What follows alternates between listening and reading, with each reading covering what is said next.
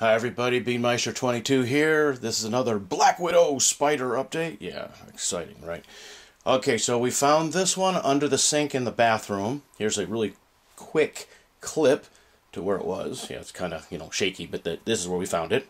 This is a good size spider, and this brings the total Black Widow spider count up to, I'm pretty sure, is it six, is it seven? No, it's six. So this is six Black Widow spiders so far we've found in the house. Now remember, it's been years since we had a Black Widow spider problem in our last place, but we figured once that house burned down and then we pretty much threw everything away, or most things away, that we wouldn't have a problem with Black Widow spiders here in this new place. And for the last two years, we haven't. If you remember when we first moved in, there was a few things we kept. Everything else, you know, that wasn't fire damaged or water damaged or fire extinguisher damaged, it was smoke damaged. But one of the few things that was fine was the bed frame. I mean, yeah, we lost all the bedding and then, you know, that brand new mattress we had just bought. But we were looking in one of the tubes of the bed frame. Remember, we found a Black Widow spider egg sac. Which is really funny because if you remember in our last place when we had that Black Widow spider infestation, you know, from hell, we didn't find any real webs. You would find like a little you know, web strung back and forth with a black widow spider might be hanging from, you know, as a temporary, you know, resting spot or reprieve.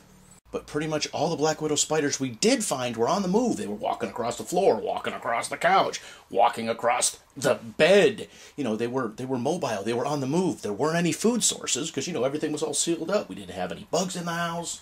And even if we did, the two different exterminators that we hired would have been able to, you know, take care of that. They couldn't take care of the black widow spiders, but, you know, they didn't find any evidence of other bugs either. We did that crawl under the house. Now, we did find, I think, an egg sac or two in that crawl we did under the house.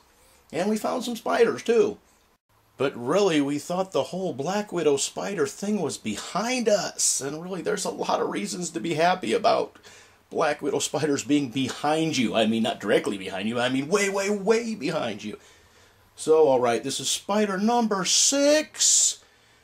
Let's hope there is not a number seven. And like I said, we've been looking through all the nooks and crannies in the house trying to find out, you know, where one was hiding.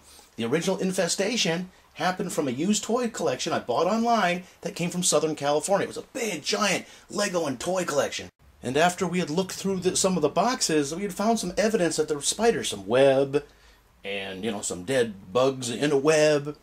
And really, all it takes is one female black widow spider or one egg sac, and then it's yeah. Well, you know what it's like. All right. So leave your comments in the comment section. As always, thanks for watching.